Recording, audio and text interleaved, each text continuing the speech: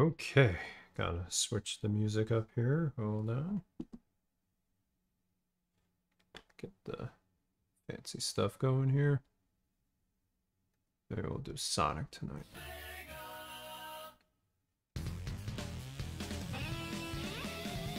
Okay. Hello, everybody. Let me make sure my audio is good. I feel like something's not quite right. Let me see. No, it should be fine. Okay. Alright, well, gonna do some more uh, Shiny Development here on another Shiny Developer Series live stream. My name is Eric, and um, got a lot of things happening this uh, in, in about a month. April's gonna be quite busy, but looking forward to doing some cool stuff and I'm gonna do maybe a little research into the workshop I'm about to teach in a few months and you know maybe a another kind of major feature I want to start with the Shiny Brain package that we've been working on for seems like over three or four months now so. Let's get to it. I still feel like there's something off here but I just don't know what it is but we'll roll with it Let's see, let's get to our source here. Okay, we don't need to see the uh, OBS stuff. I was doing some tweaking earlier tonight, so we'll close that up. We'll bring Shiny Brain up again. VS Code. Hopefully nothing crazy here.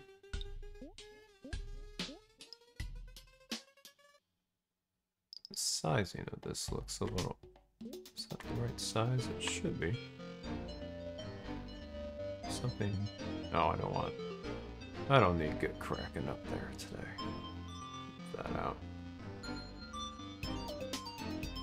Alright.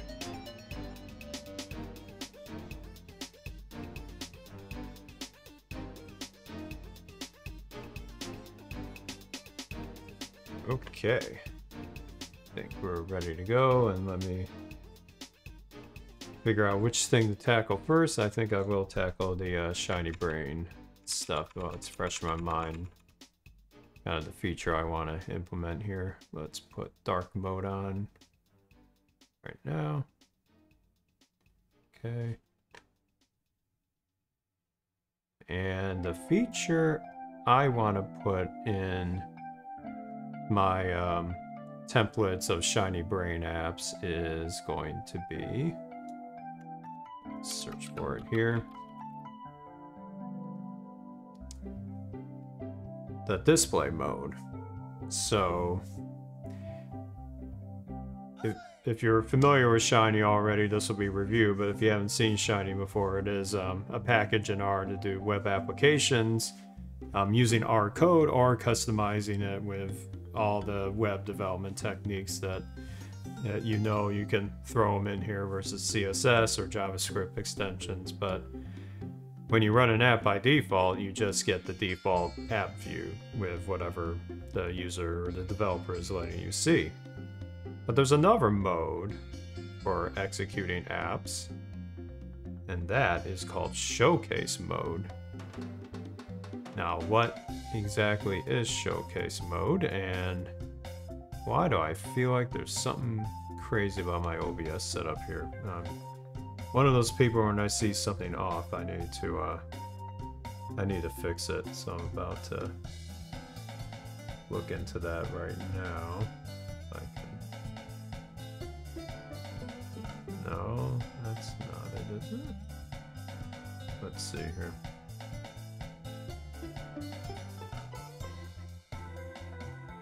That's not the one.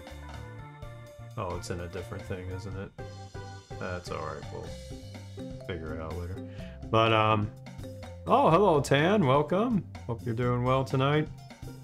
Um, thanks for thanks for checking out the latest R Weekly Highlights episode. That was a lot of fun, and um, what you as the the listener did not know is that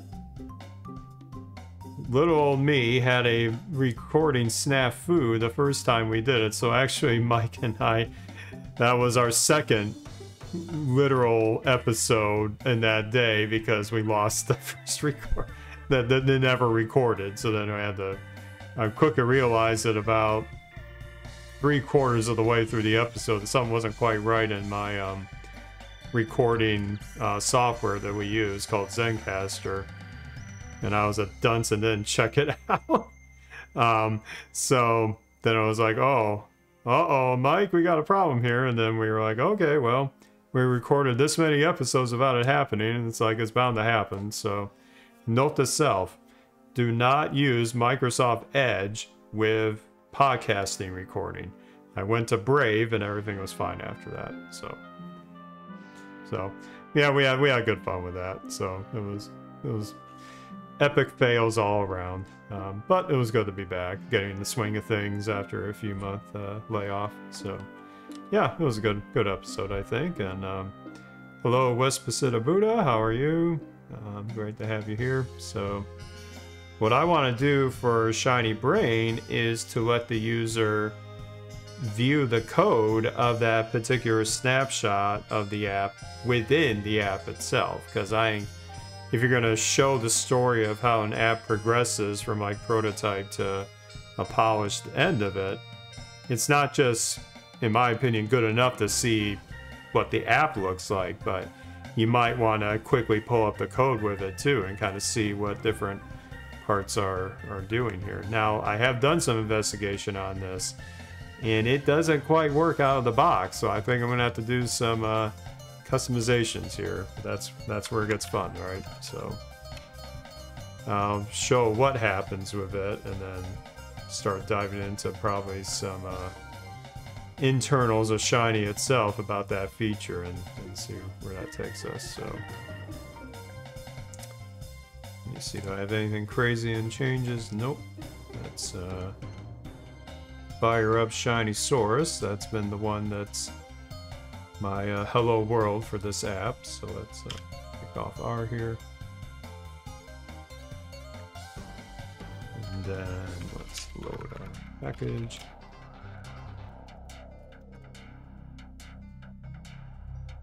See, I might bump the size up just a little bit. There we go. And we will uh, use my uh, fun function names of brain power here to run the Shiny source app.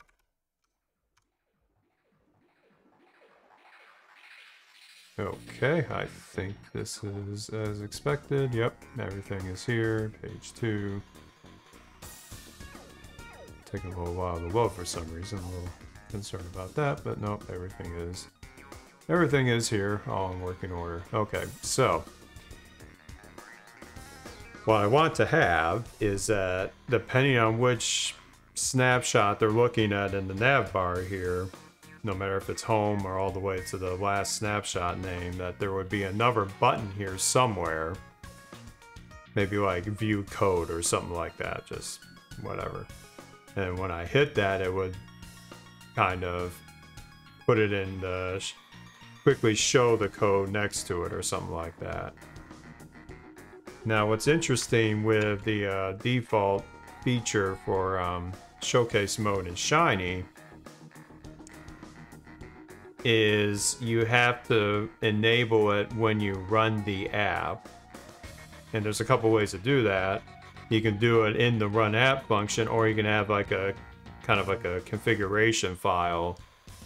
I think it's in like the Debian control format. Yeah, so or the description file. Yeah, of course. You have a description file and then it will you can tell it to do showcase mode. That's another way of doing it. I don't really want to do it that way. I want it to be something where the user can kind of turn it on and off. Um, so I hope I can leverage some of this, but I want to invoke it in a different way, a little more dynamically, if you will.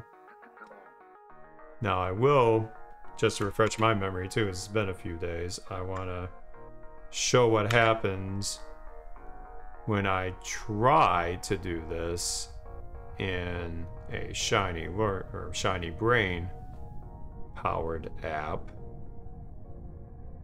where I think I had done a modification here somewhere. Okay, I think I took it out. I may have had a branch that did it, but my what I was trying to do is I was going to add an additional parameter to the brain power function to tell it to run in showcase mode. In fact, we can just hard code it ourselves. So let's, let's make sure we have the right syntax here. Yep, display mode we can showcase. So we're just gonna temporarily modify this, but let's first uh, do a new branch for it because we never want to make the main branch uh, crazy here. Branch. We'll call this showcase. There we go.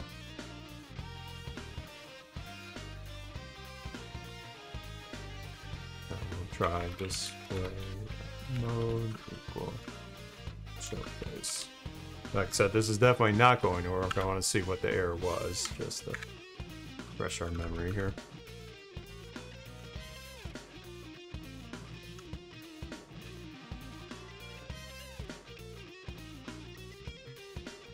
Well, okay, okay. Well, when you run it at this level, it works in a sense, but this is, this is not what I want the user to see. So we got some work to do. First, uh, hello, David J. Jackson. Great to have you here. Um, hope you're doing well in your adventures with. Last time I saw your stream, I know you're still working on databases and learning some of that, so um, hope you're doing well there. Now, this, this is, like I said, this app.r, this is not what I want people to see. I want them to see what's making these this home, page one, page two, page three, etc. apps. So that's technically no errors, but it's just not the right one. So we're gonna stop that for a second. So we know that it can't really be here. So we're gonna take that out.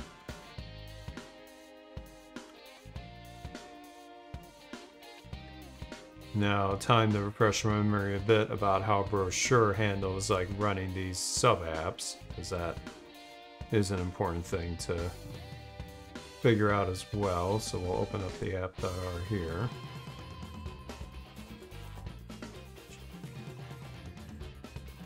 Brochure app.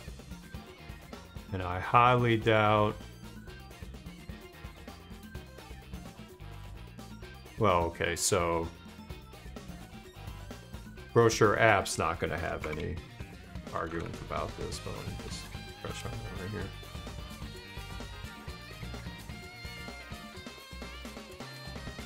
Let's see what these arguments are about. So we have the on start function that will be called before the app is actually run.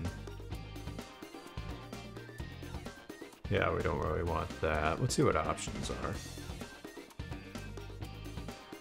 Oh, hey now. Oh, this is something. Wonder if this will solve it right now. If we do an options with um, a list.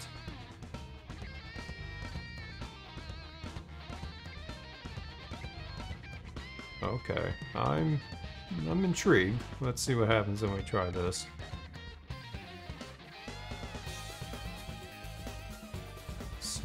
Should be able to do options equal list. Oh equal showcase. Boy this actually does it. Boy my life just got a lot easier. Let's see. Oh what did I? Extra parentheses. Yep okay. This will be a hoot if this works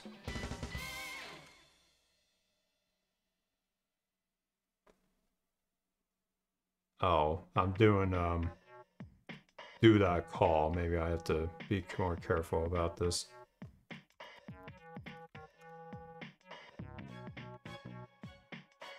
What args? a list of arguments. So, oh, because I did it in page list is like the argument, so I have to I have to append that to page list. Okay. Well, again, we're just gonna have fun this. Think I can just do page list, and I can say options equal list. Showcase. I think this will work. We will see.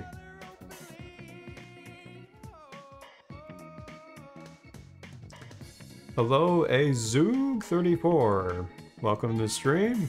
If you've been here before, um, yeah, welcome back. If not, thanks for coming over tonight, doing some shiny hacking with my custom package that knock on all the wood in the world that I could talk about later this year at RStudio Conf, but we will see.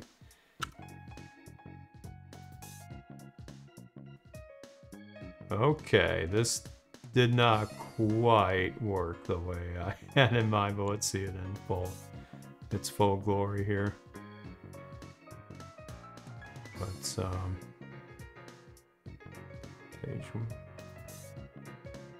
Yeah, you can see it's just showing the um, the main app.r file every time, so it's definitely not not going to work this way. Um, but it was a it was a good attempt though. The easy mode did not work, so had a feeling that was coming. Um,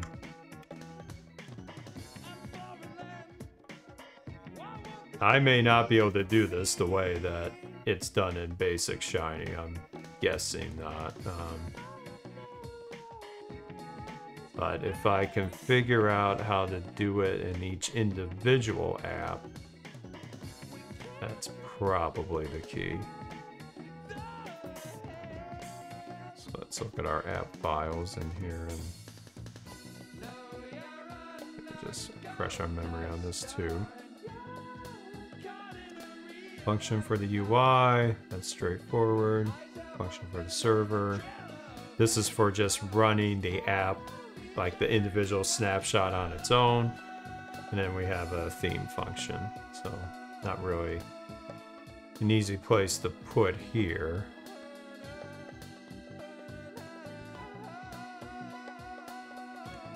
I think it's time we go into the internals of Shiny for this one.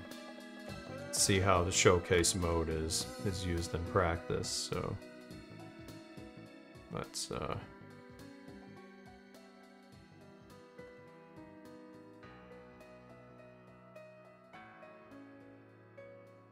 go to the GitHub repo. Let's do a search for showcase.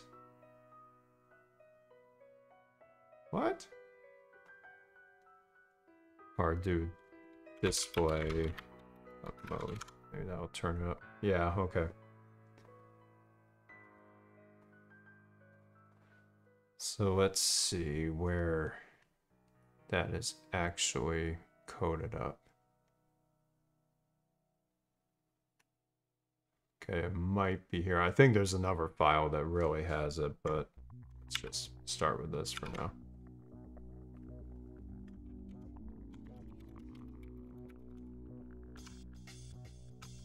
That's the only reference of it. Maybe I'll just do showcase itself. Maybe that'll turn it up. There we are. Yep. Okay. We got a combination of CSS and gosh, even TypeScript. Oh my goodness, wow. Um, that's gonna be gnarly. Uh, this may uh, maybe biting more off than I can chew, but we'll we'll see. Yeah, the showcase.r I think is what actually drives all of this. So let's see what they do here. Give the name of the license. Oh, okay. That's when they show the metadata about the app, which I don't care about, so I'm not going to really care about license stuff here. Showcase head. Looks like it's declaring all the JavaScript and HTML dependencies, so...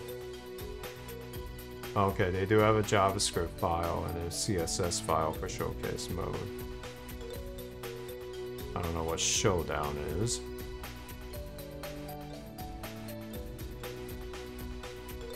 They let you render a markdown file as well, which I'm not going to do here.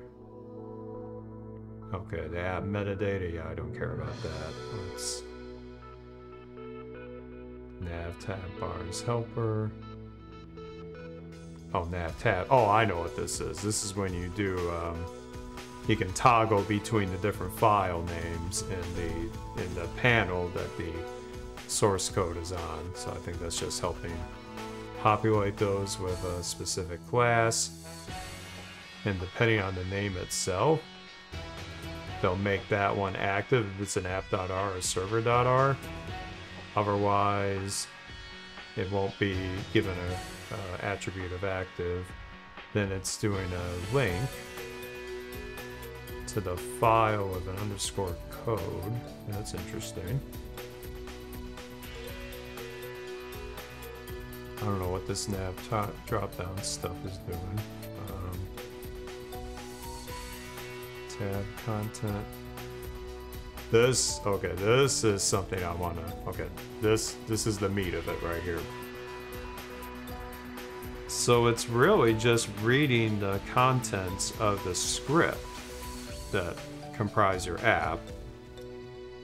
And then I think it's just going to write that in HTML and format it as like the code uh, tag. And then paste each line, collapse it with a new line character. Don't indent it. So it's literally just syncing the file.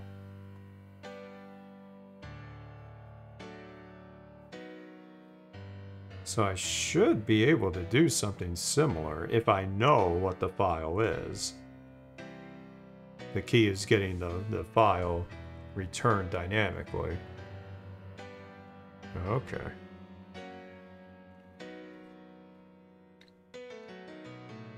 Showcase code tabs. This looks like a wrapper to certain things. Gonna list all the files of a .r or a capital R extension. That's good. If there is a global file or www folder, it's gonna find all the Okay, so it's finding all the JavaScript, CSS, and straight HTML. It's going to create a div, links, class, on click. Okay. And then the tab content. Okay, now they're calling the utility functions they set up tab content helper for the R files, for any web files, and then the license thing. So that's getting the showcase tabs. This is the app info, which I don't really care as much, I don't think. Uh, yeah, the README and the license. Yeah, we don't care about that. Okay, the body of it. The body of the showcase document. Default for showcase mode. Well, okay, that's a lot. That's a lot to process, but I think I have to take this one one bit at a time. The real meat of this is getting the file contents, which was um, yeah, this right here, given a path of files to grab them. Yeah, you can see it's, um, where's tab content helper? Yeah, it's put right here, yep. So it's given a different class. So they got the tab view in Bootstrap, and then each tab's got the file names. And Hello, Unicorn Coder. Yeah, no, no worries at all. I did get started a little earlier, but that's because I wanted to do some more research while it's fresh in my mind, and plus when I still have energy. It's been a, it's been a long week already. So, okay, so maybe the first thing I attempt is reading the file in the app at some point. So, okay, let's strategize this. Um,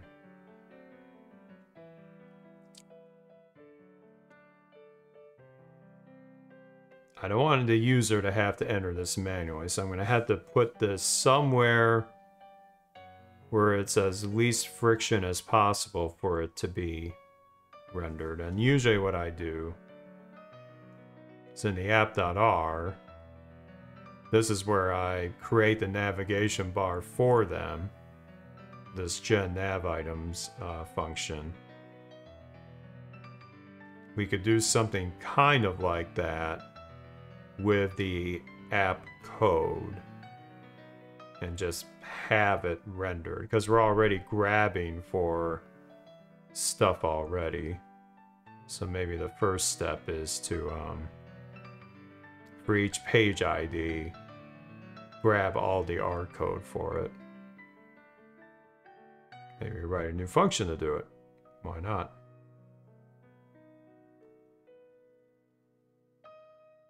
Call this gen navbar, maybe gen or or read. I don't know what to call it, but we'll make a new file.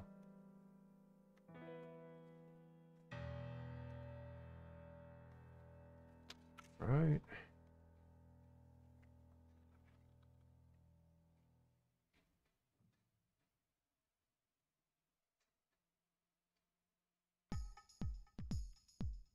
Not gen. It's not generating new code. What's a good phrase for this? Um,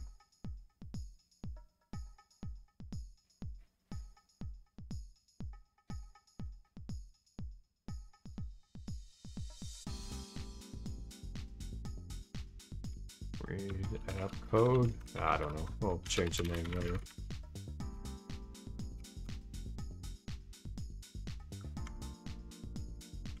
Save this.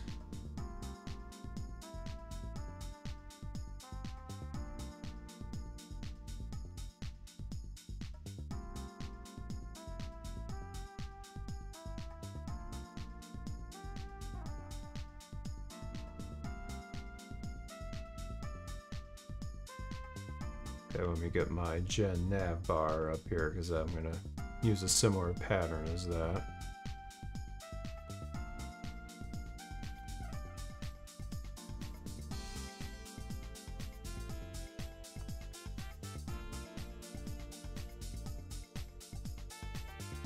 Yeah, gen nav items, yep,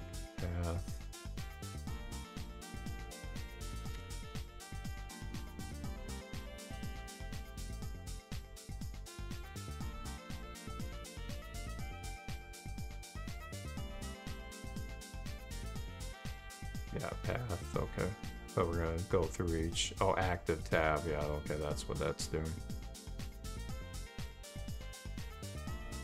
So we may just call this uh, page ID, because we are going to need that. Ideally, this should be pretty simple. We want to first list the files that have the correct extension, and I do use the um, FS dir_ls for this, but I'm going to change change it up a little bit.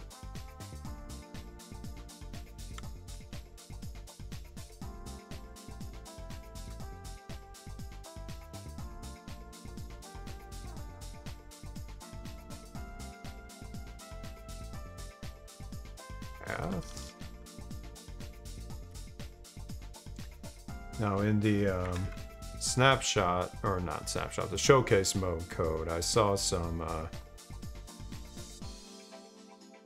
yeah, we're gonna, whoop, uh oh, all right, we're on keyboard, okay. Um, I'm gonna put this in here. I want to see how they do this in the FS uh, package way. So I think when they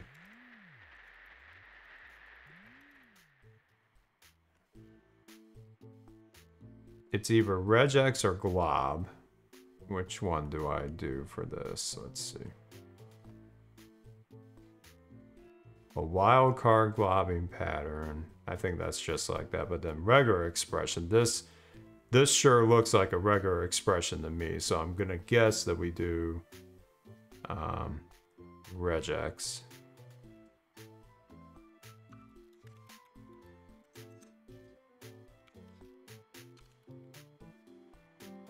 R, capital R, dollar sign. Now this will be in a directory page. Yeah, in fact, we'd better app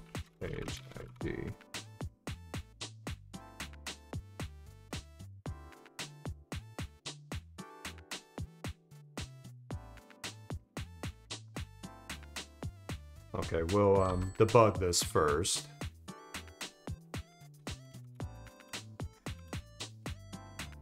Kind of hard coded a little bit. Yep, it's the um, good call, Unicorn Coder. You are spot on. Whenever you see in R these um, these two sl the what is it the forward slash or the backslash? I always get the direction mixed up, but whenever you see these, that is a very pretty clear indicator we're about to do the um, the regex fun, and the dollar sign is an anchor for like its ending in this. The caret they use for like exponents is the beginning character.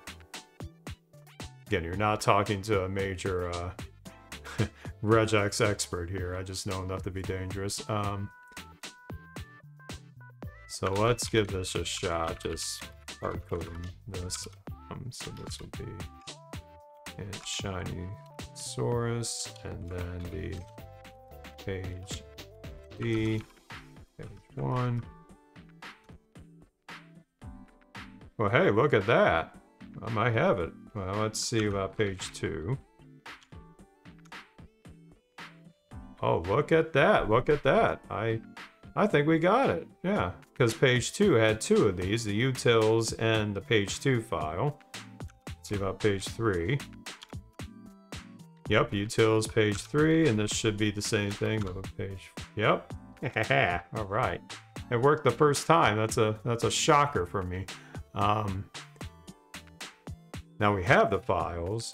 Now we gotta grab the contents of it. Now, I will warn all of you, I'm supposed to have thunderstorms in the area tonight, so if I end this early, it may not be because of my choice.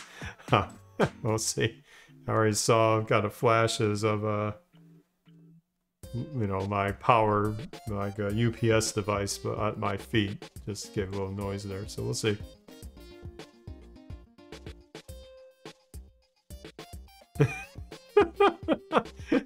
Oh, I gotta, I gotta put the spotlight on this. The Dr. Daniel, welcome by the way, saying that I mentioned that all my employers, employers know about my other employer. Everything is working out. You're just working all the time. Yeah, you don't get the rest at all. You, you knew what you were getting into.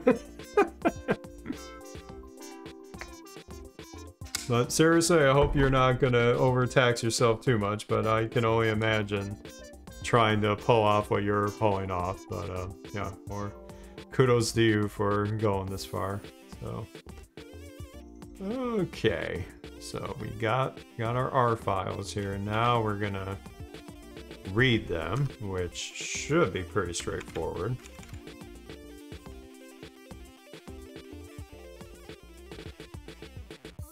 I've always want. Okay, what is this read UTF-8? Um, Who's ready for story time with our podcast? Oh boy, oh boy, here we go, huh? Story time. Um, what's the good story? Well, you know what? Uh, well, it, it's a it's a productive one because, as I some of you are aware, that's there who are watching now, but for those that aren't, um, we do have a pretty uh, major conference coming up, RStudio Conf 2022, and oh, sorry, dark mode, come back, come back. And we got uh, let's see, where where's the main site? Oh, this is the blog post. But anyway, I'm helping with a workshop and I've been very nervous about it. So I decided to uh, phone somebody that, um, well, so to speak, that has done a great job of workshops in the past. Um, Garrick Aden-Buie, who's uh, at RStudio working on the education stuff and um, and all that. So he had taught this excellent workshop in 2020, the last one that was in person, um, called JavaScript for Shiny users, and I loved it. Even though I could not fully grasp all the material in those two days, I grabbed enough that really got me um, really inspired and taught me a lot.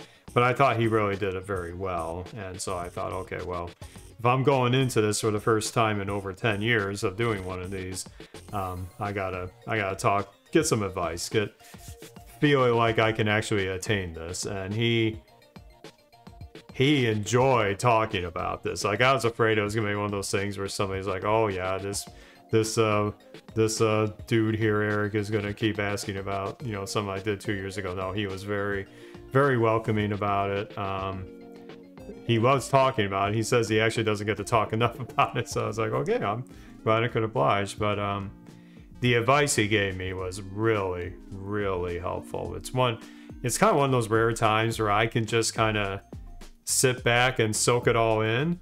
And I was frantically typing notes on like the points that he was kind of emphasizing. And there are a few of them that I'll mention here. Um, one is never, ever, ever go too long in your sessions. In other words, especially if there's like a break coming up, especially break with food, don't get in the way of your students getting to their break because they will remember those things. And I remember he did a good job about that. But that was like the first point is like never ever bleed into the um what in the world is that about? Um bleed into their break time. That was very big advice there. Um, the the second one is that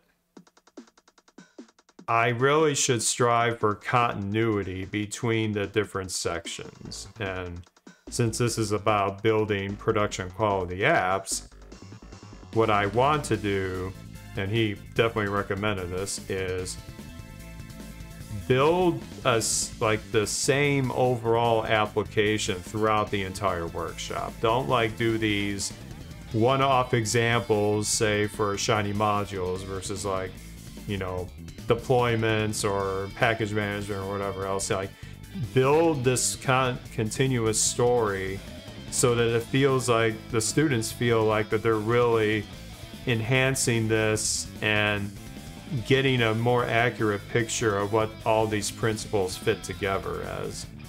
Because um, I know from other workshops, they will like do these weird examples one off in certain places. And it was like, I, I kind of lost the overall vision of it. So I need to find an app or build one, I guess, beforehand that I can pick apart and use different pieces of it, but in the overall grand app, if you will, of these different concepts. So that may be one of the first things I tackle in the prep work for this is figuring out what app either I've already done or one that I can enhance further down the road um, to encompass all of these ideas. Um, he also um, was quite candid about that he had enough material in his workshop, or almost it was like two workshops, like total. But he selectively removed certain pieces kind of right before the workshop began, or before the second day. He took out certain things, and but he he says if he could do it over again, he would not have been that ambitious. He really worked very hard on that. So for me, I have like five core ideas right now and I might add a couple more, but I'm not going to go too overboard with it. I don't want to overwhelm the students with all these different things hitting them at once. Um, I want to tell like a cohesive story with it, so don't be too ambitious, he said. And I want to make sure, and this is again good advice from him, is that we split up the time between you know me or one of the TAs like talking about something and then making sure they have hands-on time to do it. I don't want this to be like Eric blabbing for two days straight without them really getting their hands on it. We want them to practice it, and we want to make sure we have ample time to discuss the main points. So it's really breaking it down into like these different components of the of the workshop. Each of them having like one or two like really if you don't remember anything else, remember these two points, kind of set up for it. And then if you have more time in the session, you can talk about some of the other kind of add-ons to it and really build upon it. But there's going to be a lot of material thrown at them. Make sure they don't have to really try to remember so much at once. Um, I think that is, and it all makes sense when I hear it, but when I hear somebody that I respect so much tell it to me kind of very direct about this and based on his experience I, I definitely was listening so very inspiring like i said it's kind of rare that i get just kind of like sit back and feel like i'm i'm getting the best practical lessons and tips from almost anybody in the community um, it's a nice change of pace let's put it that way so I feel less imposter syndrome now, but now the work kind of begins. I got to really put this into, um, put this into practice. Um, yeah, Daniel's got some good points. Um, I'm gonna highlight the last one here. Yeah, spending time to do exercises. Yep, that's spot on. You roughly plan three times the amount of time it would take you to do the exercise. Yes, absolutely. That's where again, I've mentioned this in previous streams, but I will take you all up on this that want to be kind of um, reviewing things as I develop them. Probably here on stream, I'll develop some stuff. Would love to get your feedback here or on the Discord channel of things that I start to build out there. I can't really open source everything right away because a lot of this is going to be me iterating through probably a bunch of kind of trial by error things, but the things that I feel like I nailed down, I definitely want to run some of that by all of you. So I will definitely take you up on that. And the important thing from your point, Daniel, is I am not the student here. I can't expect the other students to know the ins and outs of working with modules like I do. I got to make sure that what I give them as activities is something reasonable for them to understand and be able to accomplish in the time that I give them. So, so definitely one of the more productive kind of like feeling like I'm talking to a Jedi Master kind of session. So, Garrick, I don't know if you ever watch any of these, but if you do, thank you. You really made my week because it, it, this is this is a big deal to me, and I want to make sure I do a good job and emulate from the um, successful peers that I've been watching very, very closely um, over the years. So, and then ironically today, on a separate note, I was able to talk to Joe Cheng about some shiny stuff, and I finally showed him one of my, I'll call the the really, really, really big app that I've been doing at work, and he liked it. I was like, oh, okay, yeah, I've impressed the the the the, the originator of Shiny with something I did. That was that was fun. Um, they're they're getting some feedback from some of us in the industry about ways we're using it. So I was kind of showing them what my design pattern was, and they're gonna maybe see about enhancing Shiny with some of those ideas. I don't know. We'll see. But they got some plans. Early stages, but they got some plans. So two in one week, uh, two great conversations with friends from RStudio. That was that was a good time. So, and then it was back to uh, the the grind of uh, debugging more uh, API call nonsense with another app I'm working on now. So, always always a shift when you go through that. So, okay, so that's that's the me learning stuff uh, kind of story for sure. It's, uh, okay, I was looking for this read UTF-8 function. I think that's an internal function, but we'll find out. Not quite sure. I've seen this thrown around else. Yeah.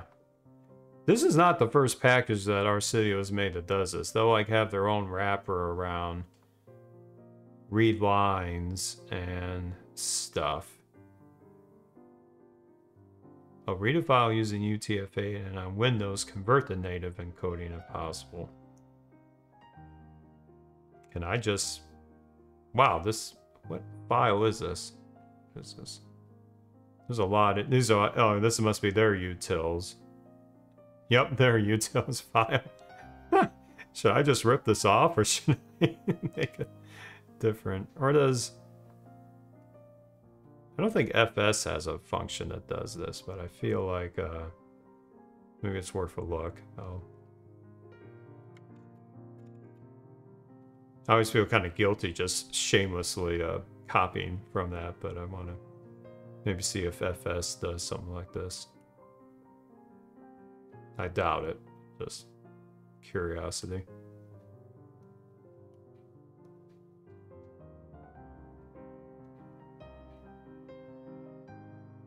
Yeah, I don't think they have a file read here. No.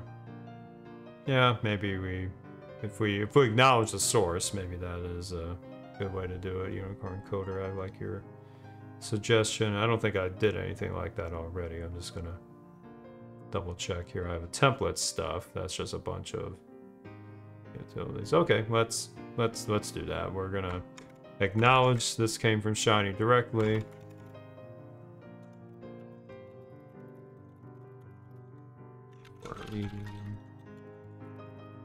Contents, Reddit. Get the link here proper. I don't know why GitHub sometimes when you search for things it gives you like the um, the whole commit hash around this. I just want the utils file, so we'll just link to it directly here.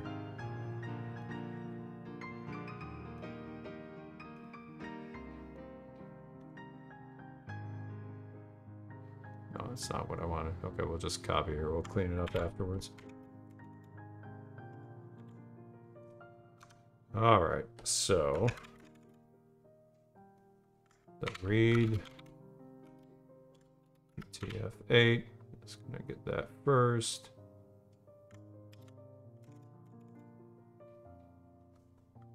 There are other ones that this references like check encoding, ENC2 UTF-8, try native encoding, so we're gonna have to grab those. Okay, here's this one.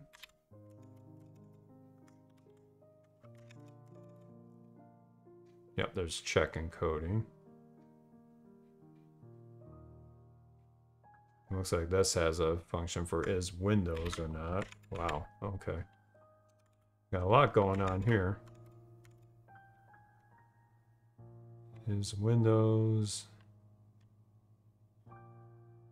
Is that in here? Yep. Oh, that's a straightforward one, isn't it? This uh, platform OS type. Yep, lots of code here. Okay. Let's see if I got everything. Okay, I got check encoding, try native encoding, ENC to UTF-8. We don't have that yet. Let's find that.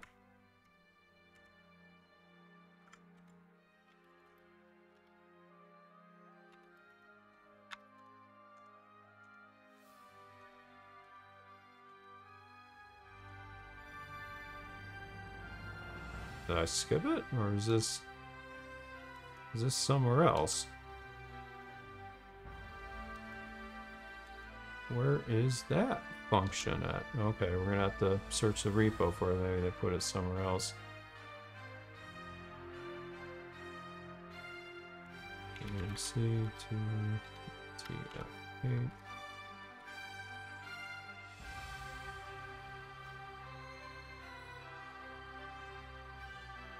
Where does that come from? Huh. Is that a function from somewhere else, or is that in base R? Maybe that's in base R. Oh, it is. Okay, no wonder. Alright. I learned something new. Read or set declared encodings. Oh, okay. Well, alright. So we don't need that verbatim. I think we have everything. So we will save that. We'll just run it in this. And we'll use purrr for it. Yeah, that's a good idea. While we're writing this on our own here. Sorry for the linting nonsense. I gotta take care of that. Where is...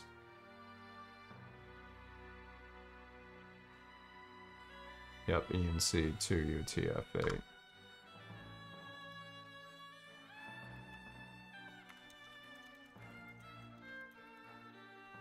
Believe it's the same thing with this as well, but we'll put it one place at least, so.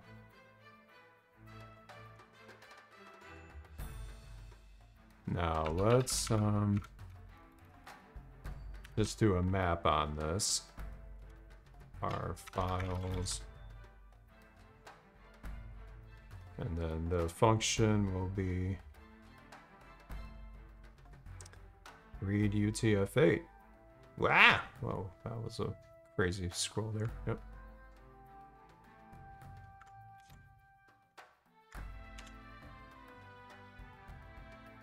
I think I could just do it like this. We'll see.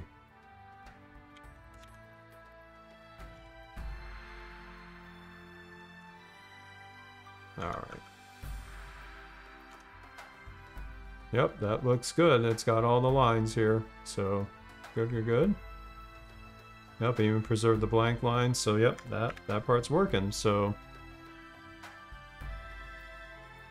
uh, what should we do here? If this is strictly just to get the code out, let me go back to um, the uh, showcase script here.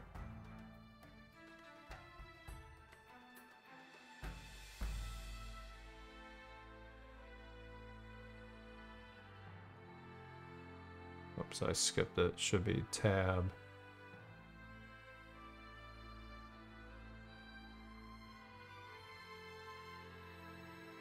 Oh, this is what they do. Okay, so they paste it. Read UTF-8. Collapse equal dash n. And then equal false. So I don't know why... Oh, it's making one vector out of it. No kidding. Okay, yeah, we should do that. We should do that. We either do that here or we do it in the other function. Let's just do it here and get it over with, so... Nope, not that, not that, not that. On the tilde.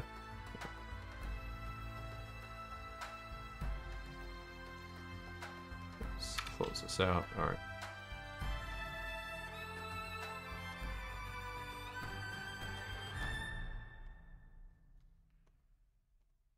Well, since I talked about the native pipe in, uh, in R Weekly, um, why not move, use it here? Uh, and this will be, what is this again?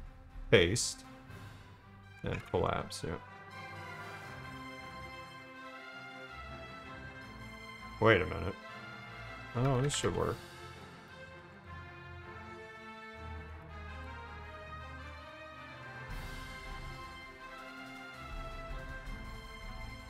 Let's see if I bungle this up.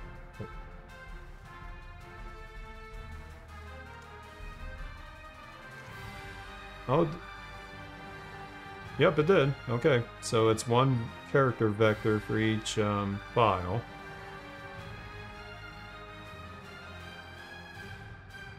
Well, I just figure I, if I'm gonna if I'm gonna spend an episode, uh, half an episode on it, I might as well give it a shot. But yeah, it's ugly as heck when you print it here, but it's it worked. So okay, so let's Call that rest for now. So now the key is can we feed this into the app itself? Like the sub apps, I mean. So that means we go back here. We have module dirs, module files.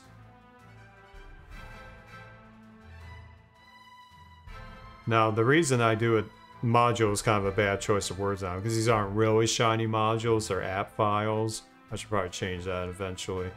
But what this is doing is that each sub app has a has a script called page whatever.r like this one here and this has like the meat of everything and this is the place where I might load additional packages like if we look at um like page 4 this is going to have a pretty mass Oh, I know I don't load them verbatim. That might be something I need to work on, is where to put the... Oh, I know. The library statements go in app.r, so I have to tell the user about that. But anyway, um, once in Shiny Brain you source the contents of these, the rest of everything follows suit afterwards. Um, but anyway, where it's... Um, we're going to... grab the um, contents of all of these. And we can do it after here. Um, oh, content, maybe let's do it like that.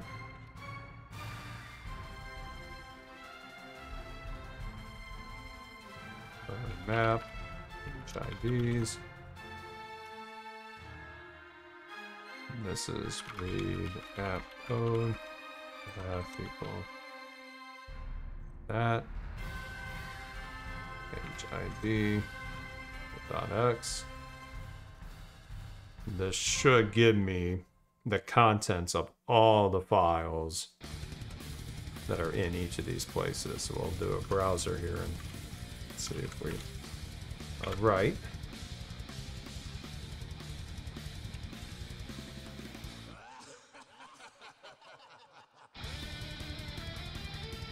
My brain power call. Okay, we're here. Run code content. Okay, let's inspect it.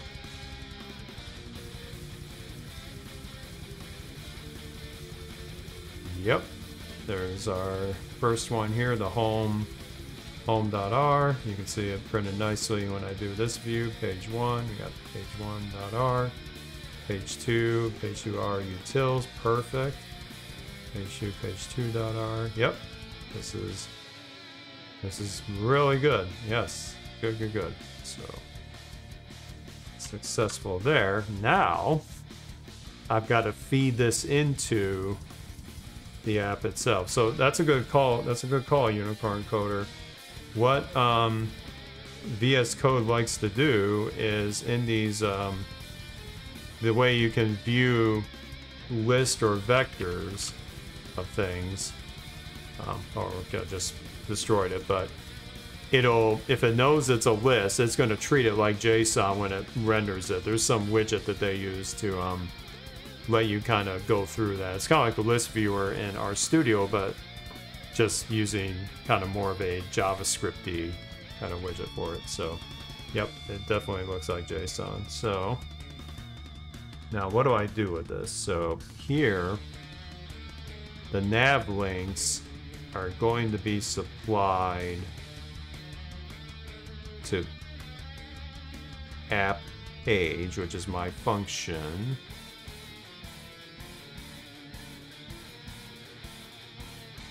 think that is that my util script. Yep, it is. Okay, I probably need to break this into like its own file because I look at it so much. Nav links, custom theme, page ID, title, BG. So we should have another parameter called code underscore content, or whatever I called it whatever I called it over here, code underscore content. I may change it later. Let's just move this over here so I can see these side by side.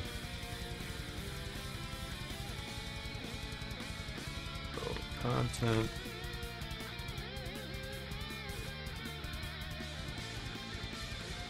Then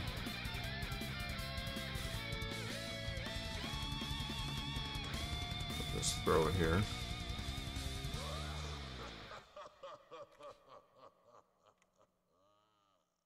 Let's get rid of this nonsense.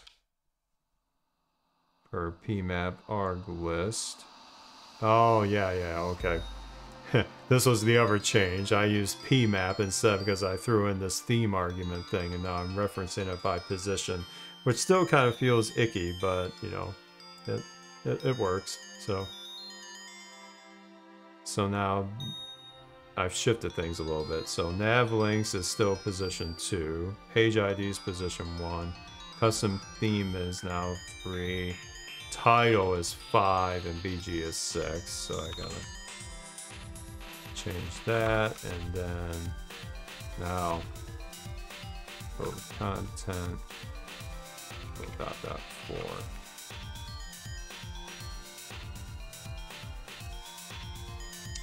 Let's get rid of this thing you know that didn't work.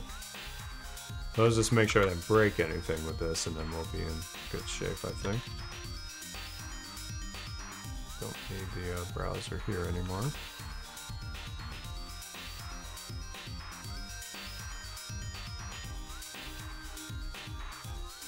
Okay, nothing broke.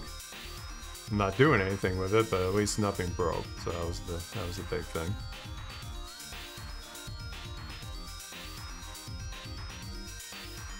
Now, what do we do with this? Now we just have it as a parameter. See, this is where I use bslib to create that navigation bar. Nav links are like the um, yeah, nav links are the nav items as like a, a call to something. And then Oh, okay, never mind. Let's um, refresh my memory on this a little bit.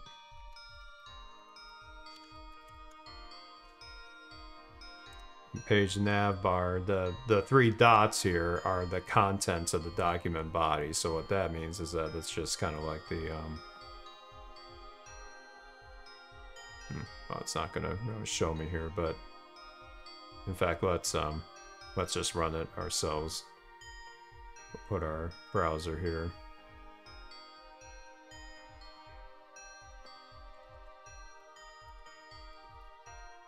We'll run this again.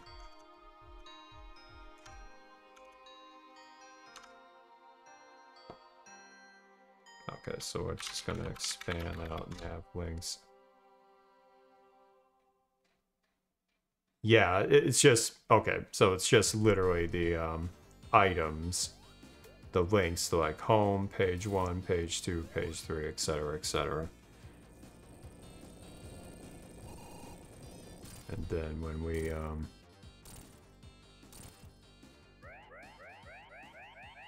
Yeah, I just did tags of this, that's all. So it's it's a navigation bar, but I use the feature of in, in BSLib when you have a nav bar, you can do arbitrary HTML links, not necessarily links to things in Shiny itself. So this gets it to act like it's brochure instead of like a native 90 or Shiny nav bar page. So that's why I did it this way. So actually, this code content may end up not belonging here after all. It needs to be, well, hmm.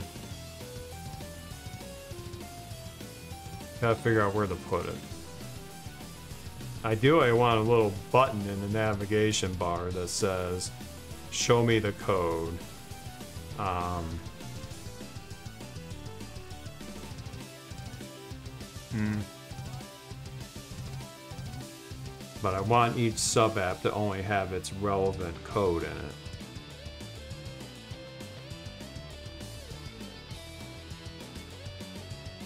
The danger in this is I don't want the user to have to worry about. I go back here. I don't want the user to have to heart to like.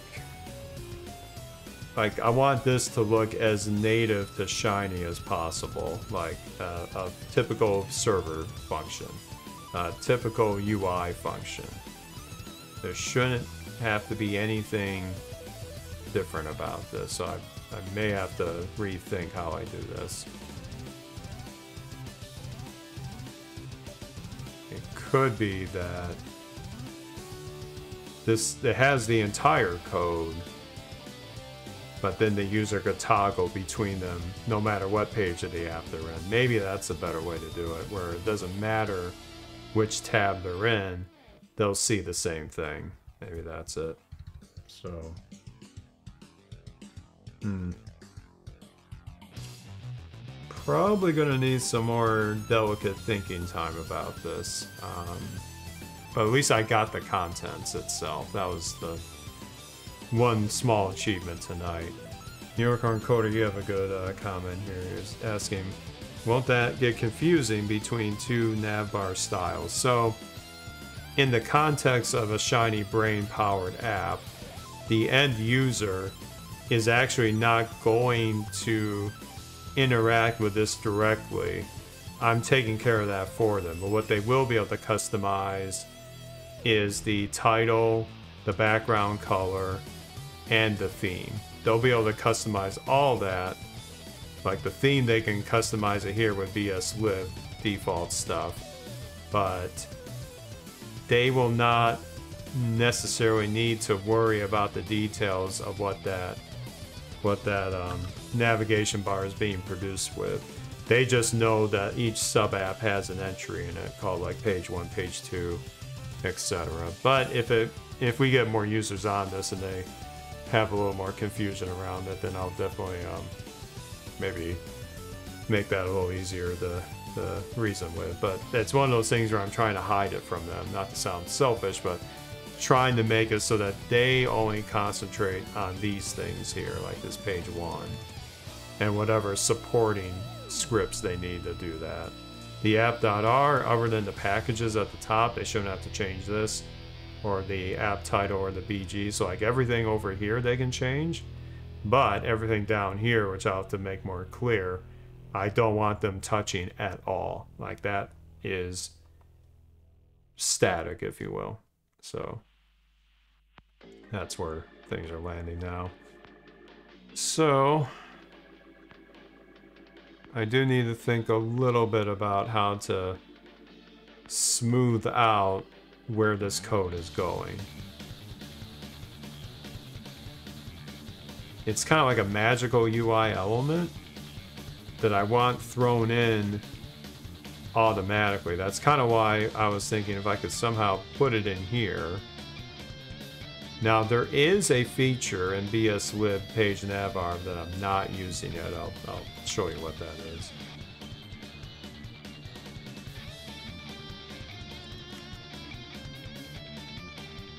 It has Like right now, we're putting the we're kind of putting those um, navigation links in the you might call the the the body of that. I believe. Actually, let me double check here. Yeah, we're just executing those UI functions. It's considering that the body of it, um, right here. They wanted me to put it as a header, but when I did it as a header, it kind of messed things up a bit. So, um, the key for me is there's another place I could put it, and that's the footer. I could throw it in the footer below the nav content. It's not ideal, but I'm just curious if it works. Um, just throw it in there somewhere.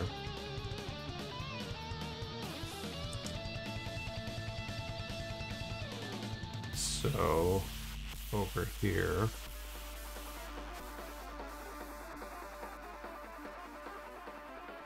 I may just try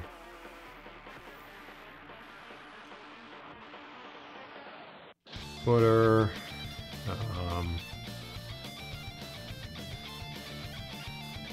I know I can put like arbitrary content in it. Um, let me find an example of that.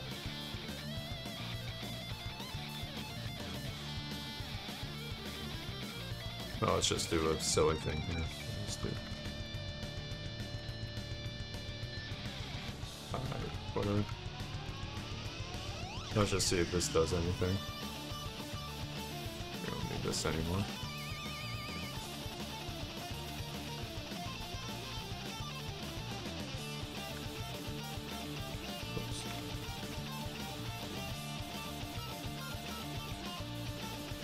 Okay, let's throw this out there.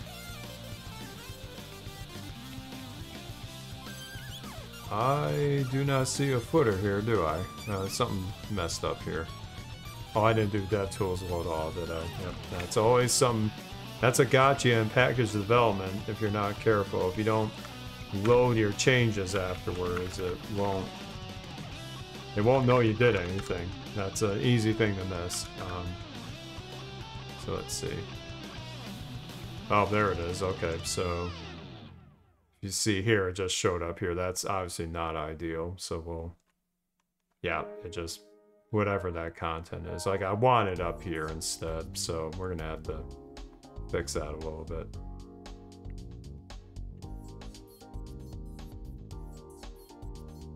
Oops, not that one. Um, well, Unicorn Coder, yeah, shinyjs. shinyjs is a great package from uh, one of my better friends, uh, Dean Attali. And actually, in my conversation with Joe Cheng earlier this morning, when I was showing my my really really massive big app, um, I had actually used another one of Dean's uh, packages, shinyscreenshot. This is a fun one. It lets you take a screenshot of your entire page or part of your Shiny app within the app itself. It's wrapping. Um, oh, what's the widget it's wrapping? I forgot, but uh, Joe actually Googled it while I was while I was showing him my big app, and he, he learned something new. So it's kind of fun to show that off. But, but yeah, uh, I'll put a link to this in the in the chat here. I really like this um, package. I haven't used it to its fullest potential yet. Oh, HTML to Canvas. That's the JavaScript library. But uh, yeah, that's a fun.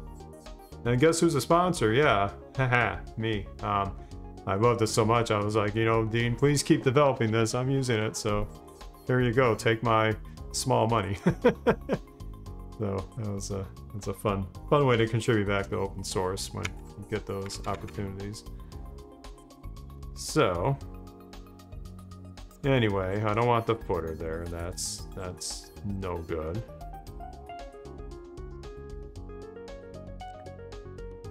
Now, I believe there's a way in the nav links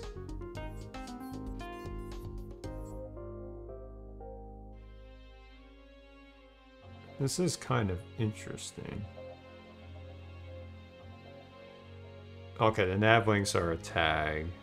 Yeah, okay, I've styled the tag already because that is Oh, I closed the file, didn't I? Let's just get rid of some of this. Let me get the file back.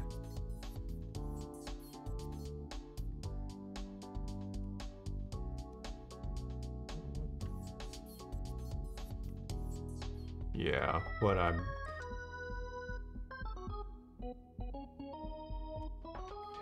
HIDs. Yeah, via swift nav item. That's what I was... Okay, that's what I need. Okay, so finally refreshing my memory here. And by the way, um, for the workshop, you better believe I'm be talking about BSLib. I love it, and I'm definitely going to put it into the workshop. I think it deserves a lot more attention. So, nav item.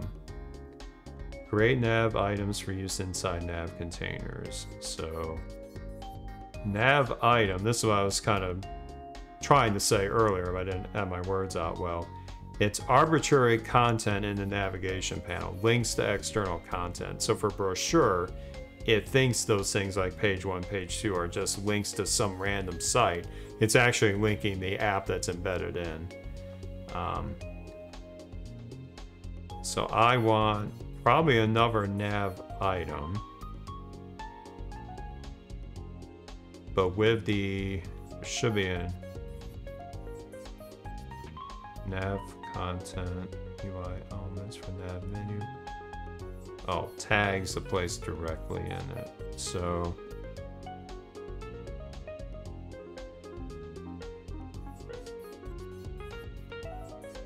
Hmm. But you know what? When they view the code, I don't want it to suppress the app itself. Because if I do it in just a straight nav element, it's going to like take the whole window of it. I want to kind of like expand out, kind of like a collapsible right sidebar almost. I'm definitely over engineering this, I can tell, but trying to think my way through it.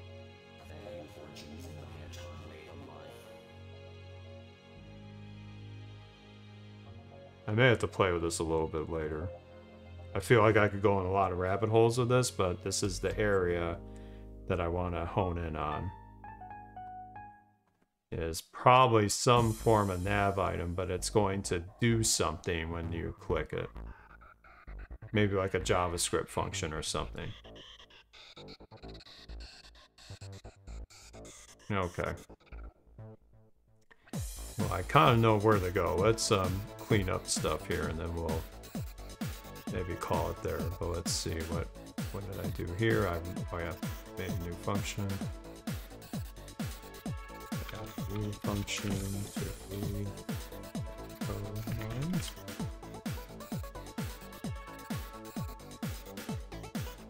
What did I do here? Oh, I added the argument code content to app page. Don't do anything with it yet, but I added it. Alright. Page.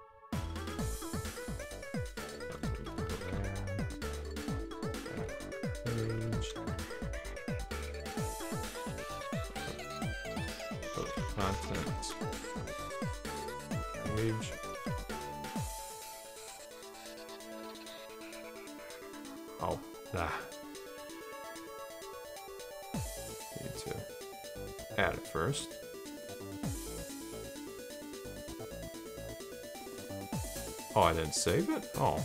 Oh, no wonder. Okay. There we go. Let's unstage it, restage it. Okay.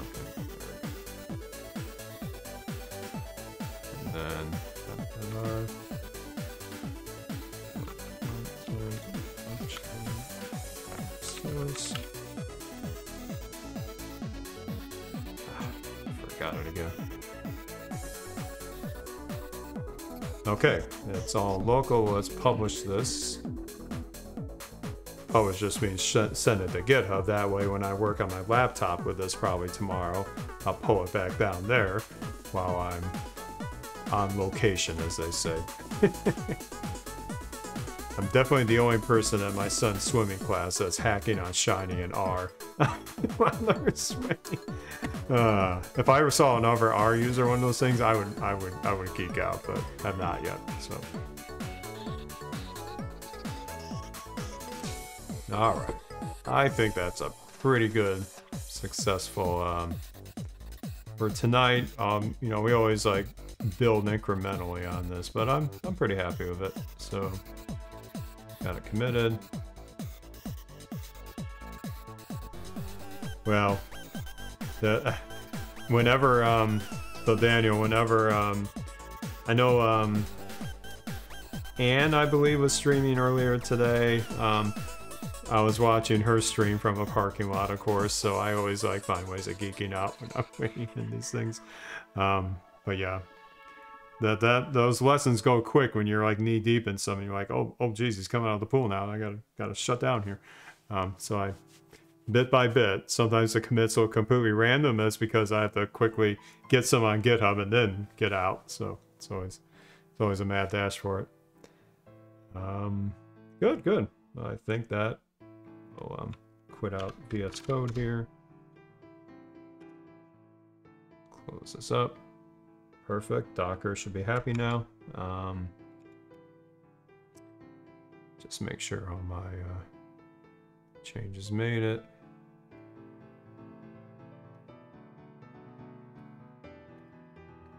Should have a new branch here. Yep, showcase. Perfect.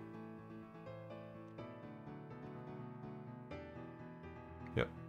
There's two, three commits ahead of main. Perfect. Yep, so that's in. That is in. Okay.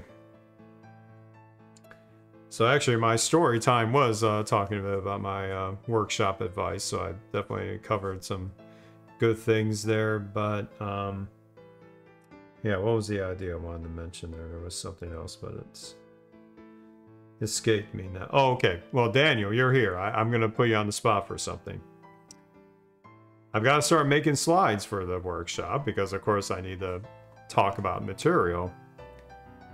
Now, I have heard that Quarto does have like a more spruced up version of Reveal.js as an option. Would you recommend I use that, or should I still stick with uh, xaringan for my slides? What's your What's your take on that? I'd be curious because I have done xaringan up to this point for the past about a year and a half for some of my uh, presentations. In fact, let's just have fun looking at one of my recent ones here. It was, uh, yeah, the data, the data mishaps one. This was xaringan. Styled up, of course, but I had lots of fun making that one. Um, yeah. Okay. Okay, you you would use Quarto because it is new and you get to tinker with it. Yeah, there is that kind of newness to be. Um, that oh yeah, and the and the top line support because you better believe that our, our friends at RStudio are going to want to work out any usability issues before they really put this in the mainstream of the community at RStudio comp. so i may i may do a, a just a experiment with it maybe on stream maybe not um, just to get a feel for it i it's kind of funny. I, I feel like I wanted to talk to Garrick about this, but I ran out of time. Um, xaringan is like that thing where I want to use it because it's so it's got this like I don't know what the hell to say, but it's like this kind of geek cred to it of like all the fancy things you can do with it. But it's also those fancy things that I take a long time to build. Like I don't have Garrick's like web development wizardry in my head. Um, and the other thing is, when you look at the source code of a xaringan deck, in fact, let's look at mine here on this uh, presentation here. Let's just boot it up here. It, I don't know the best way to say it, but when we get to like, it's it's got like that raw HTML kind of look to it with the CSS look to it. Um, like I get why it is, but when you kind of look at this at a high level, unless you've been in xaringan for a while, you get kind of lost a little bit. And even I still get lost sometimes when I read it. So I'm kind of curious if I go with Quarto's uh, route, if it looks, if it's easier to kind of look at it at a high level and really understand what each slide is doing. I don't know. Maybe I'm being too facetious about this, but I feel like when I look at a xaringan deck that I have to really sit down with it for a while to really understand like what that part of the code was doing. Like I'll have the slides on another monitor and I'll kind of search and replay or search for keywords and boot it up in the code and try to figure out okay that tag did that or that that uh, declaration did what and I have not mastered it. Like every time I build these slides, it probably takes me twice as long as it would be if it was just a straight R Markdown flavored slide deck. So maybe I'll I'll, I'll give Quarto a play. I, have been wanting to play with it for a while, and you know, as as Unicorn Coder said, we've been seeing a lot of press in this in the community, especially on Twitter, um, the past couple days. Um, and for a workshop, like my my purpose is different. This isn't like a conference presentation where you um, the, the the the the feel of it's different. This is this is meant to be a great resource that will stand alone that I want people to refer to for learning something. Not so much just for amusement, but for actually learning stuff. So maybe I'll give a Quarto a play here. Even if it just makes it easier for me to just concentrate on the content and not get lost in the weeds of like styling so much or doing the weird web tricks so much. Sometimes I get down under those rabbit holes way too much. Um, maybe I'm not alone in that, but it does remind me of the old, uh, well, some of that Daniel, you probably have some not so fond memories about is getting into the internals of LaTeX as you're trying to um, polish something up for, for that publication slides uh, or publication like document. Um, it, um, when I did my dissertation, I went in the weeds way too much with my LaTeX template um, towards the end there, and I that's time I'll never get back.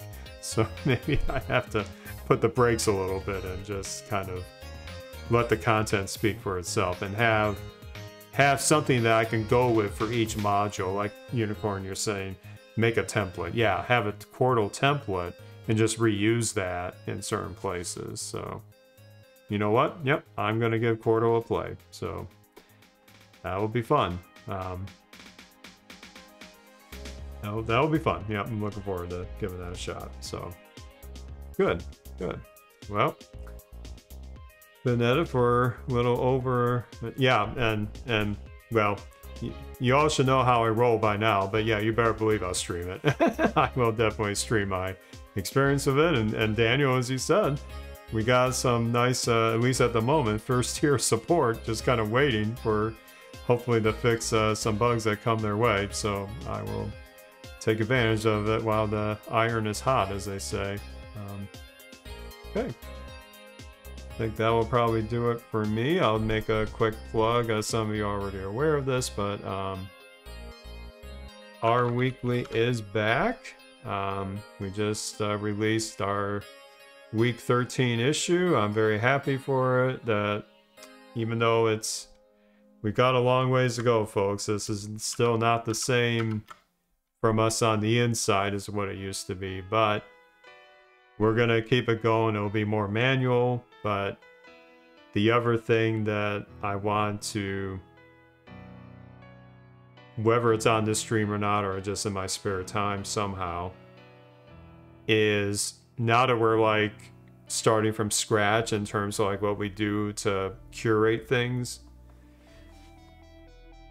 There's a lot of tooling out there that I think if we can morph it into something that is easily um, administered by people of, you know, decent knowledge of R and maybe some knowledge of web development or automation stuff, but not necessarily requiring a huge mastery of it, that we can maintain this like more democratically for better or worse, and this is Eric's unfiltered opinion, I don't speak for the whole R Weekly team on this. The fact that we depended on we've depended on um, our founder of it so much for all the infrastructure and not just like the idea of it. I actually feel guilty of not trying to understand it better when I first came on the team. I fell into my curator role, which I still am, obviously, and now as a you maybe might say a talking head about it. But I didn't do enough in the early days to really understand how all the bits worked. Um, and now we're kind of paying for it. At least, I mean, I'm not saying it's all my fault. I'm just saying that I would have been better prepared for something that happened that happened last year if I had learned more about how the engine was powering all of this. I learned a bit over the break, but then I got lost because there were some parts of this back end that we can't even access. And that's, again, just a fact. It's not a right or wrong, it's just a fact. But if I know the high high level purpose of that, you know, that aspect of the back end, we might be able to cook up something that has hooks to different systems that are more in the general domain now, like GitHub Actions or, you know, things like that.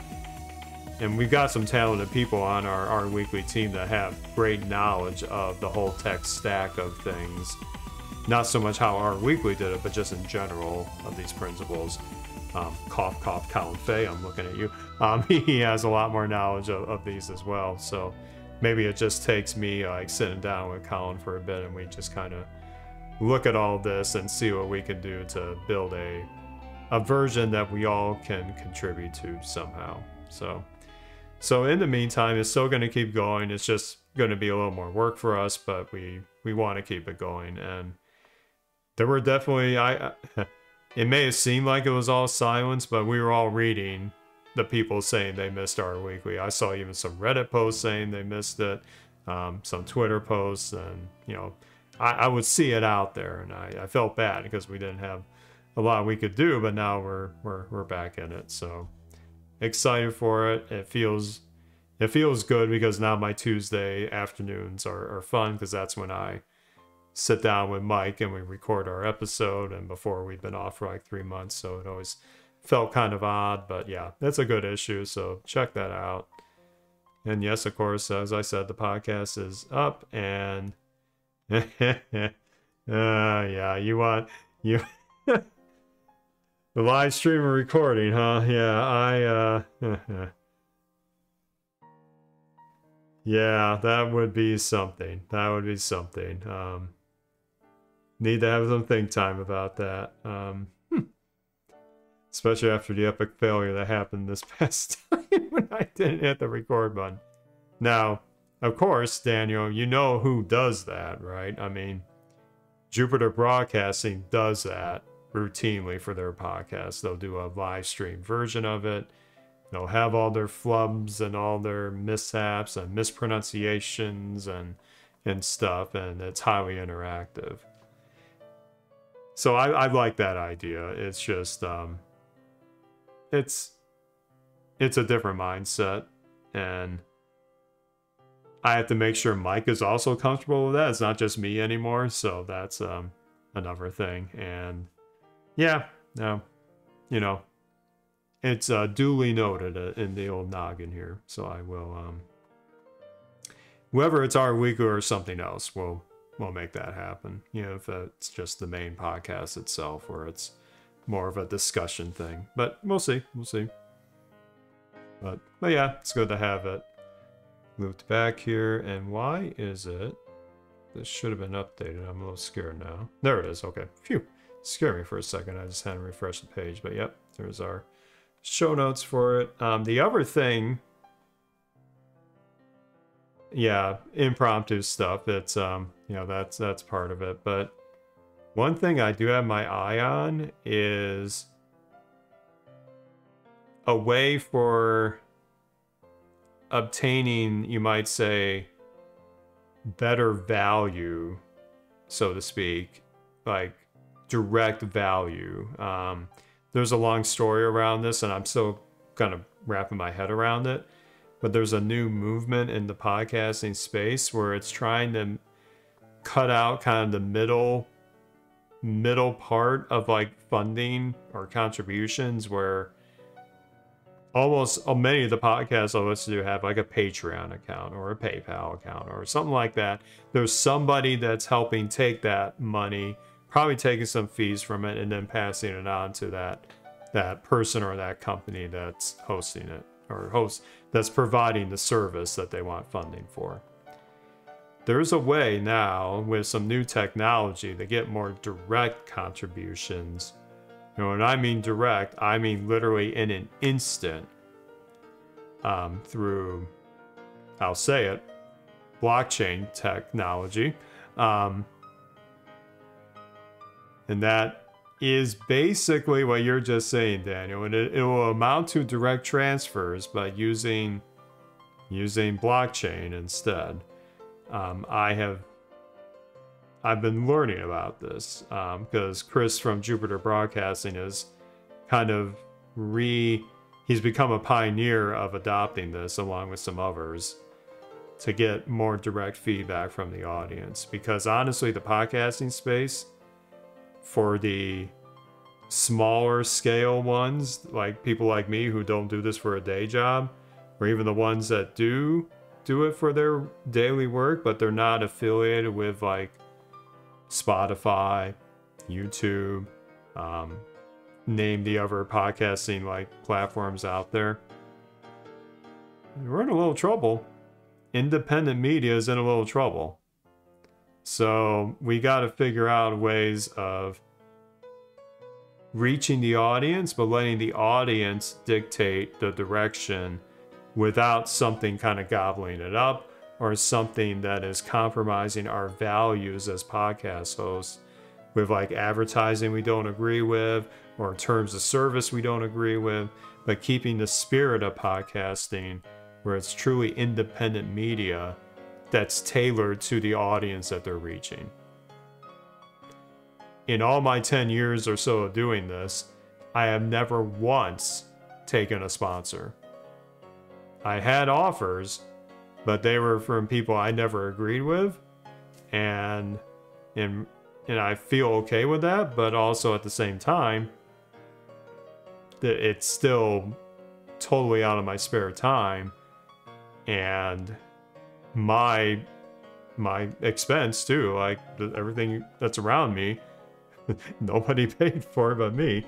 Um, so and it translates also i think to a new funding model for open source as well not just me as a blabber of in a microphone um, so i feel like we're on the cusp of something but i got to wrap my head around it but i may try it out try out some ideas with R Weekly highlights with maybe the Shiny Dev series as ways of having more transparent and more direct value for value propositions. So again, these are all high level things. Um, let's see, but I see some good comments here. Um, Dan, you're wondering, is it curious if there's a way to get R Consortium money? You know, it's interesting you say that. Um, part of it is I sometimes have a hard time thinking that this this kind of medium is worth it to people like them.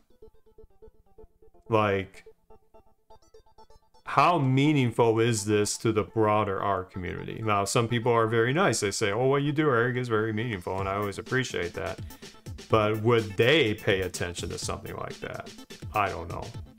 Now, of course, we've seen the immense efforts that they've done to help R-Ladies go to the next level with funding for that. Um, some other community initiatives. So, I mean, there is precedence for community driven things. But would they go for just some, you know, near middle age uh, R user of how many years uh, talking about this? Um, I don't know. Maybe. I'll give it some thought, but I'd have to, I'd have to really justify that somehow in my mind first. Um, but it was always my way of kind of like taking what I learned from the Linux world and how podcasting got me totally listening to their podcasts, people like Chris Fisher, Larry Bushey, um, Chess Griffin before that, um, they're the ones that made me fall in love with Linux and be able to learn it and use it for not just my work and my schoolwork and in grad school, but to actually use it for fun and really literally become a part of my job. Like the Linux skills I learned from them, I use every day in my job when I do the HPC stuff. So it's like that had a transformative effect on me.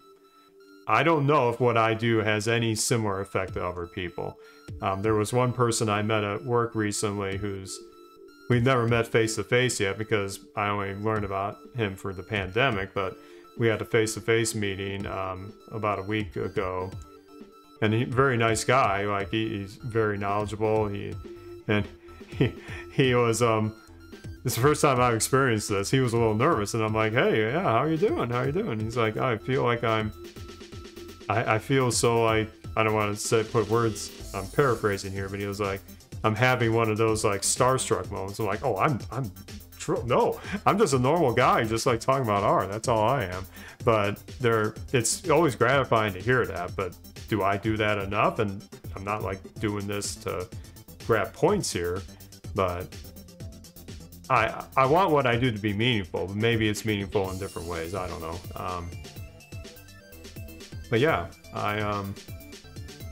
I'll, I'll give it some thought. You, you all always give me good ideas to think about, and it, it is a passion of mine.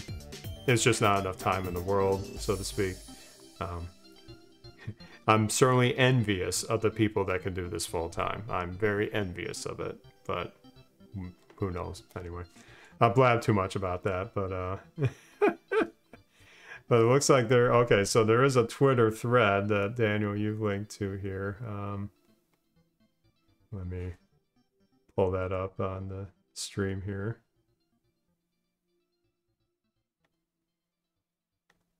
Let's see here. Comparing all my oh okay okay. I need the I need to bookmark this. Okay I will like it right now um, so I can refer back to that. That's good stuff. It's pretty rad. Okay I okay I'm gonna I am gonna parse this. Okay.